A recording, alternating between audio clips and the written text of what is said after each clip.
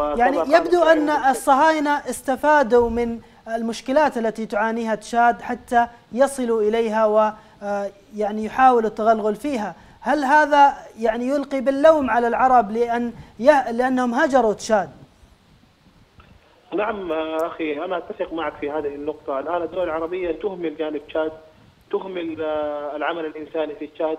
تهمل استقطاب المثقفين التشاديين وتعليمهم. تهمل كذلك عدة جوانب لابد هي من الأهمية والمكان. وهكذا الكيان الصهيوني يتحيل الفرصة عندما يكون عامل الفقر والجوع والمرض وهذه الأمور كلها.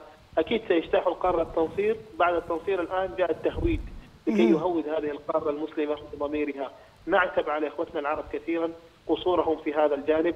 عدم اهتمامهم ببعض القضايا الأساسية التي تمثل لنا جانب أساسي. لكن مع ذلك كل كانت هناك جهود مقدرة أيضا من الدول العربية في العمل الإنساني ولا تبخس الناس أشياءهم.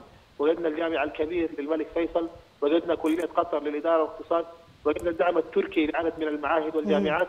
كل الدول العربية ساهمت لكن تلك المساهمات ما إذا كانت بنائية فقط دون أن يكون هناك مراقبة ودون أن يكون هناك كذلك استمرارية فذلك لعمري أمر جلل